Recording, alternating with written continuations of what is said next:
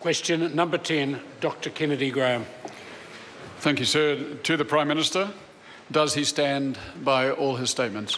The Right Speaker. Honourable Prime Minister. Speaker, yes. Supplementary. Supplementary question, Dr Kennedy Graham.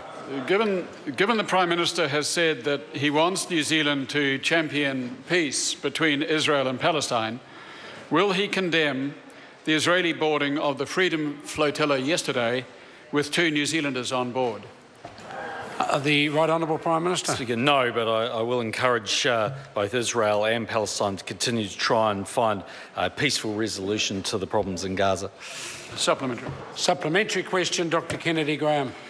Will the Prime Minister condemn Israel's actions last year on the basis of the recent UN report on war crimes in Gaza, which criticises both sides, but especially Israel, for its excessive use of force in using, quote, huge firepower of 6,000 airstrikes and 50,000 artillery shells?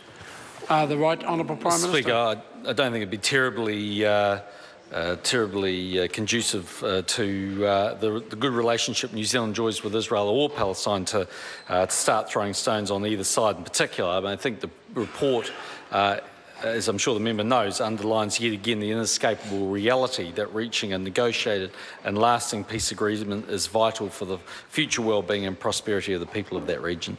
Supplementary. Supplementary question, Dr Kennedy Graham. How can New Zealand even attempt to bring peace to the region, as the Foreign Minister has indicated it will, when the Prime Minister is unwilling to condemn Israel's war crimes and illegal blockade of Gaza, a clear indication that New Zealand has surrendered its impartiality?